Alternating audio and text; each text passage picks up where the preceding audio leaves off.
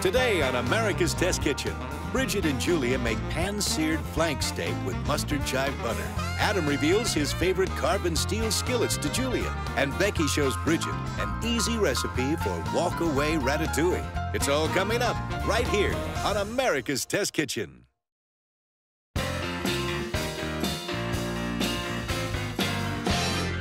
Flank steak is the boneless, skinless chicken breast of the beef world. It cooks quickly, there are no bones to fuss with, and you can use it to make everything from fajitas to stir fries. But cooked as just a steak, well, it's got some real problems to deal with. Flank steak has a very distinctive grain running right through that muscle, and when cooked, it buckles. That creates a thick end and a thin end, and those cook unevenly. Mm -hmm. And it tastes like an old rubber tire. which is not good. But today we're gonna give flank steak its due, and I've got a few tricks up my sleeve.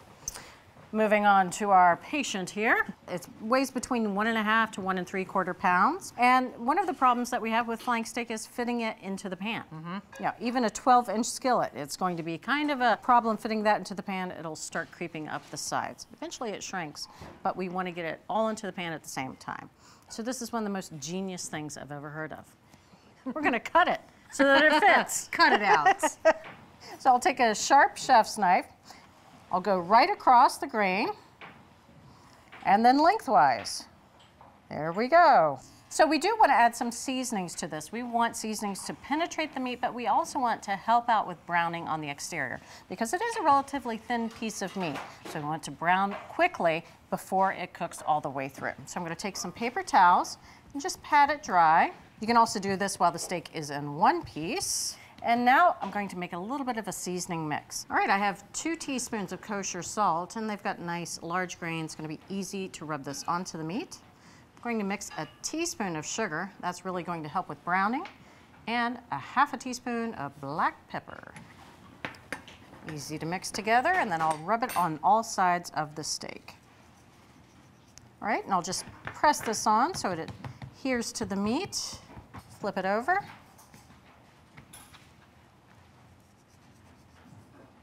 All right, once again, press it all in. Now I'm going to transfer this to a rimmed baking sheet. I put a wire rack right on there.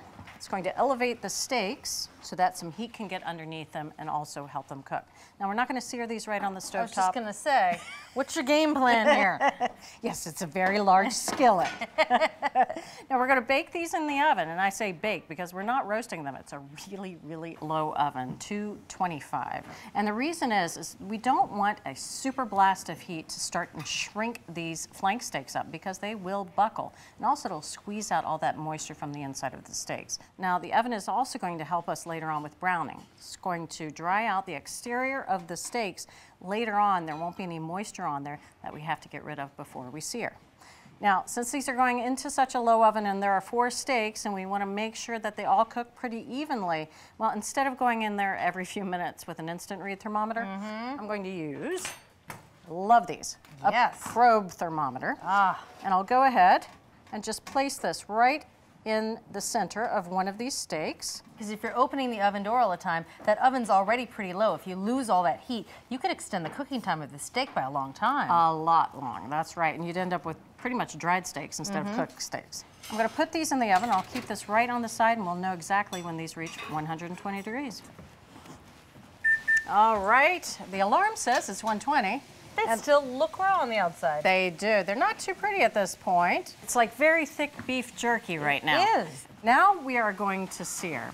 So I've been heating up two tablespoons of vegetable oil over medium-high heat. I'm gonna wait for that to come up to the point where it just starts to smoke. In the meantime, we're going to make a compound butter. Mm. So I've got three tablespoons of unsalted butter, softened. Now I just like to mash it up a little bit before I add all my ingredients a tablespoon of minced chives, a little bit of Dijon mustard, that's two teaspoons, a half a teaspoon of grated lemon zest, and a teaspoon of lemon juice. Ooh, that's gonna taste good. Mm-hmm, nice and light. Mustard, lemon, and chives. And butter. All right, so there we go. Set that aside. Let's get back to the skillet. And we can see that the oil she's at a shimmer. So now we can go ahead and place these steaks in, and then I'm gonna flip them every minute. And that's to ensure that they don't overcook and to develop a really nice brown crust. All right, we've passed the first minute. I'm gonna go ahead and flip these over. Oh, those steaks are starting to look a whole lot better. And as you mentioned, they are curling on that one side. And by mm-hmm. flipping them every minute, that's gonna fix the curl. Another minute, another flipping time. Hmm. So the flank steak has long muscle fibers that shrink up when they come in contact with a hot pan, which causes the steak to buckle. Once the steak is buckled, it's no longer flat, and that means you won't get even browning. By flipping the meat every minute, the muscle fibers on both sides of the steak shrink at the same rate, thereby reducing the buckling effect. Mmm, this should be our last flip over. These steaks look amazing. All right, let's turn the heat off. These are coming out of the skillet. oh, yes. Boy, those are really gorgeous. Aren't they beautiful? Yeah, I mean, we eat flank steak all the time at our house. I don't think I've ever made them look that beautiful before. So we're gonna leave these for about 10 minutes so that they can cool down so we can eat them. And also it's just going to allow any juices in the meat to redistribute. They are still there. I counted them before we waited 10 minutes. And I'm proud of you because there's still 4 on mm-hmm. that sheet pan. Yeah, you're lucky. I came close to taking a little nibble. I bet you did. Well, we are going to go ahead and slice into these. I'm just going to slice open two. One for you, one for me. And we'll come back and eat the other two. so now I'm going to add a little bit of butter, about one and a half teaspoons. I'll spread it out a little bit. Oh, oh yes. Now you're talking. Oh, butter on steak is just the best idea. So I'm going to slice these against the grain, very, very thinly, as thinly as I can. That is perfectly cooked steak. Come to mama. Oh, no gray band. No. All pink in the middle, drenched with butter. Hello. How's that? Gorgeous. Feel free to dollop some more butter on yours. We have some do. extra chives here. Mm. All right, let's see how this tastes. That is a thing of beauty. Mm. This is amazing. It tastes like a really expensive steak. It's super tender, perfectly cooked in that butter. I have to say, with that little bit of Dijon, that's where it's at. Ordinary flank steak can be transformed into an extraordinary dinner. Start by cutting the steak into pieces fit for a skillet and add salt and sugar to season and help brown. Then bake the steaks in a low oven before searing them in a hot skillet to develop a delicious crust. Beat that buckle by flipping them every 60 seconds.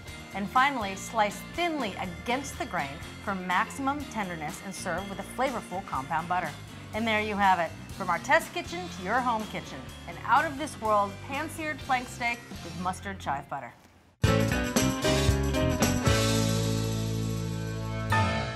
I'm a minimalist when it comes to kitchen equipment, especially if it's expensive.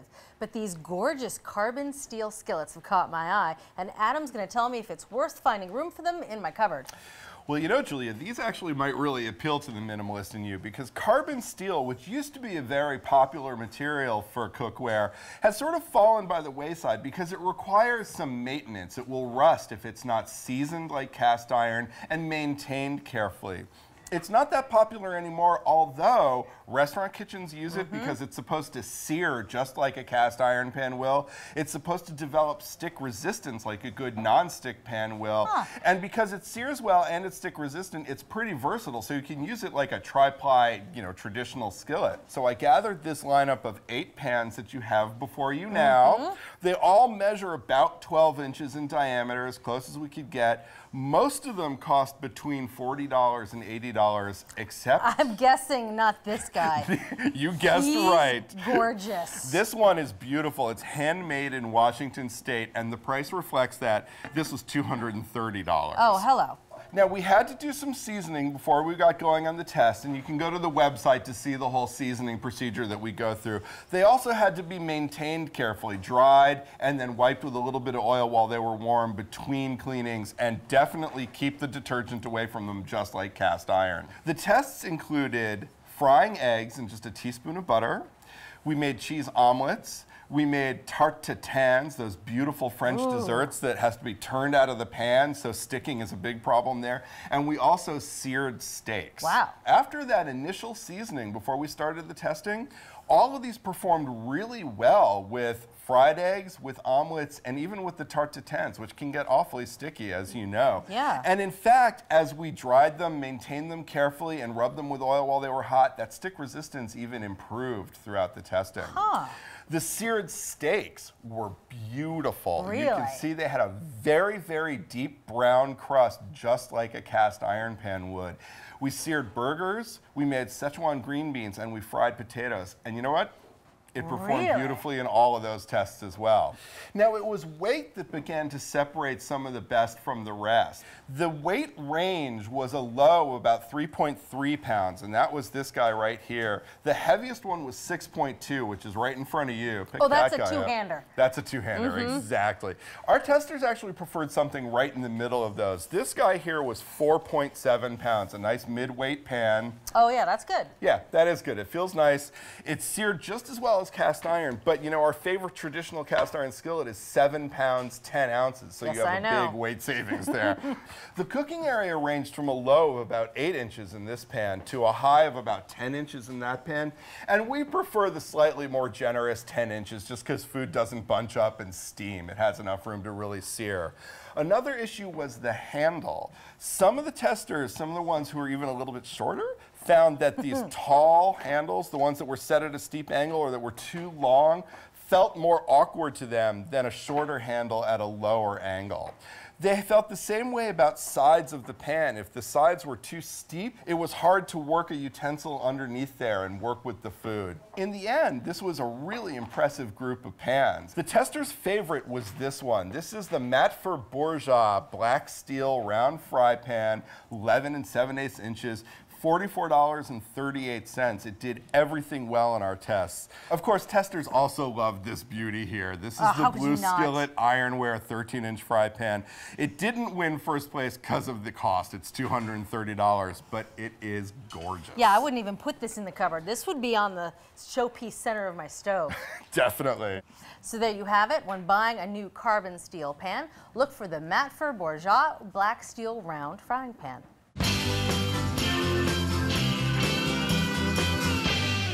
Ratatouille is one of those dishes that sounds like a great idea, especially for homegrown vegetables.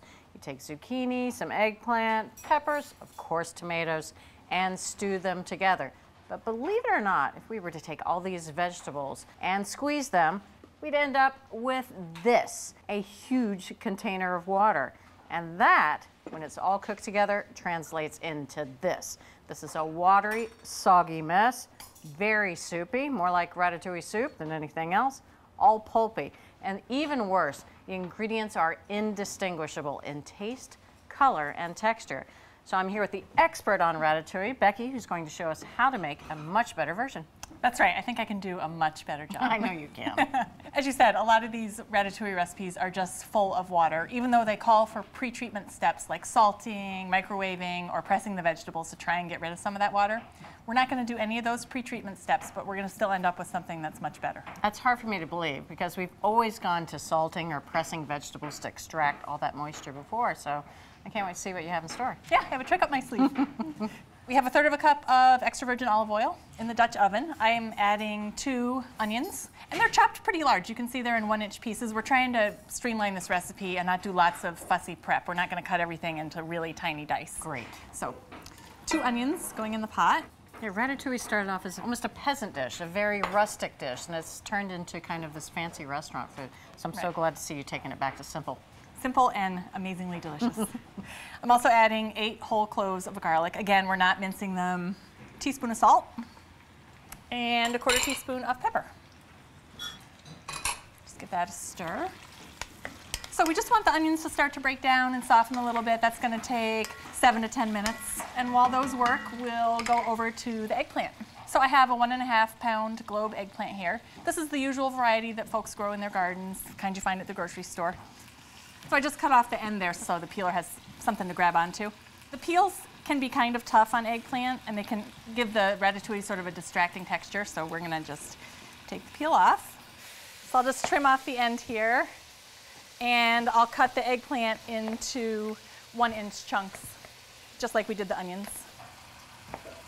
Now you notice what Becky's doing here as she's cutting that eggplant. She's creating flat surfaces. So she took that round bulbous eggplant, cut it in half, creates two flat surfaces.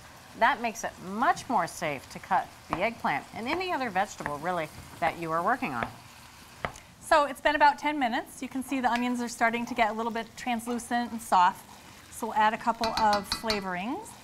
I have one bay leaf and a quarter teaspoon of red pepper flakes, Oh, a little spice. just a teeny bit. and then I have herb de Provence. This is a classic French dried herb blend. It has lavender, rosemary, savory, marjoram, mm-hmm. thyme, you name it. It's smells the really good. lavender. Yeah. I think that really sets it apart. I love that smell. Yeah. Makes you think you're in Provence, right? Yes.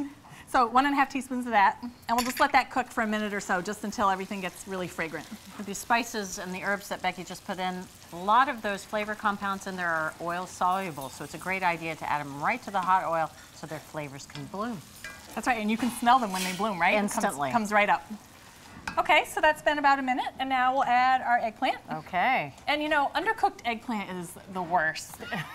It is the worst. it's horrible. it's like styrofoam. Yes, it is. So we're gonna make sure the eggplant cooks way down because it actually becomes really nice and creamy and silky when it cooks down. It's gonna melt down, become this gorgeous sauce, really nice. And I have two pounds of plum tomatoes. They've been peeled and seeded. And these are fresh. These are fresh, yeah, you wanna use nice fresh tomatoes Okay. if you can find them, yep. But can you use canned tomatoes? If you can't find good fresh ones, yeah, use a whole 28 ounce can of tomatoes, drain off the juices and chop them up. Okay, great. So the tomatoes go in the pot. I'm gonna add a little more salt and pepper, half teaspoon of salt, quarter teaspoon of pepper. So I told you I had a trick for driving off Right. all that extra water.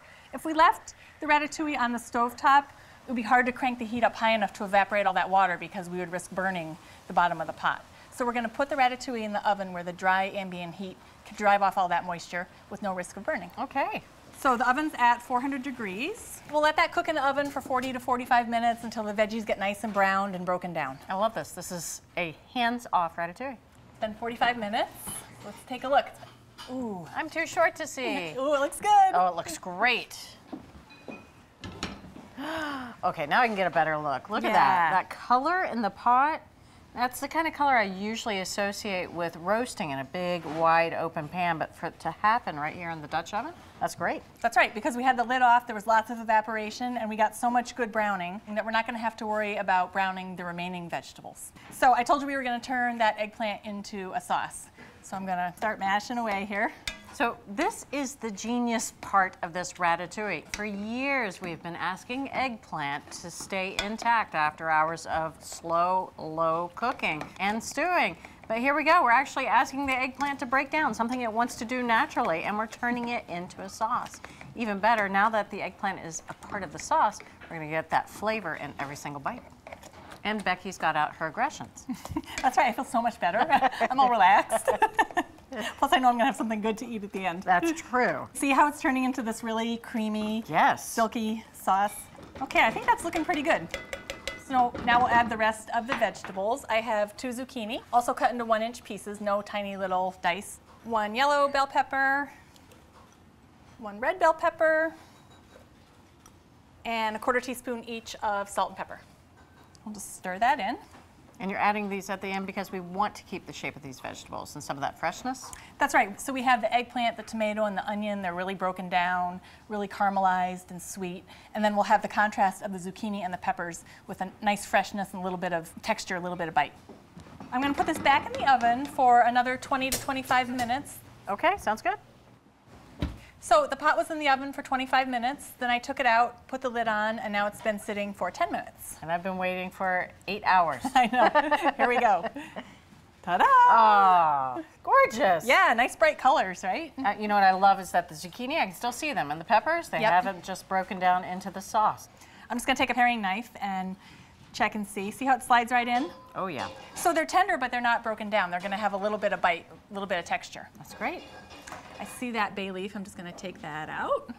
Now, when the lid was on the pot, it was steaming a little bit, and you'll see this fond that's been mm-hmm. created on the side of the pot. That's full of flavor. Anytime you see brown fond, brown little bits in your pot, you want to incorporate it back into the dish because it'll make it taste even better. So I'm just scraping off that fond, getting it down into the pot. All right, let's add a couple of last minute flavorings. I have a tablespoon of sherry vinegar. Hmm. Now, this is not at all traditional, but our veggies have gotten so caramelized, so sweet that we felt that it needed a little bit of acid just to kind of brighten things up. And then some herbs. I have a tablespoon of parsley, just for some freshness, and a tablespoon of basil. Ooh, I can really smell that vinegar. And vinegar is one of those seasonings that you should keep right by the stove top. A little bit of vinegar, salt, pepper, maybe even a pinch of sugar can take a dish from ordinary to extraordinary. It's true. All right, let's dive in. Now, we're serving it hot, but ratatouille, it's good cold, it's good at room temperature. Drizzle of olive oil for you? Please. A little bit of basil. Yes, please. And we have some bread there if you want. Sometimes I put uh, an, an egg on this and make it into dinner. I love you even more. I'm going to go as is because I think it looks like perfection. Yes, I agree. What I love, it tastes like a stew. Mm-hmm. It doesn't taste like a mush of a bunch of different ingredients.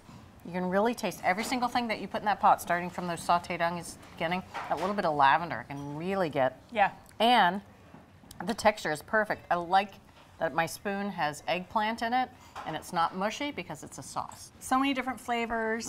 It's not watery at all. Becky, this is the most excellent ratatouille I've ever had. Oh, I'm glad you like it. Thanks so much.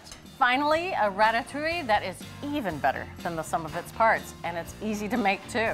Bloom the flavors of fragrant herbe de Provence and sauteed onions.